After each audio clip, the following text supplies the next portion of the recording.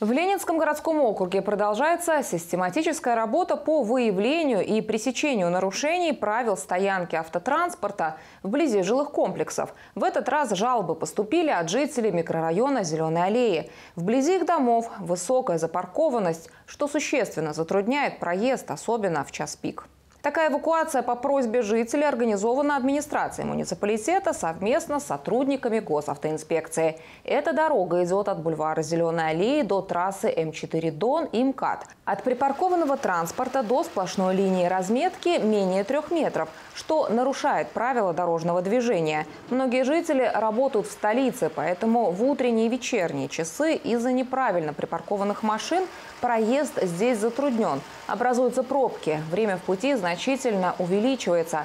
Не может проехать и строительная техника, и специальный транспорт. В результате проведенной работы на штрафстоянку эвакуировали три легковых и одну грузовую машину. Кроме штрафа за неправильную парковку, водители ждут и другие финансовые затраты за эвакуацию и нахождение автомобиля на штрафстоянке.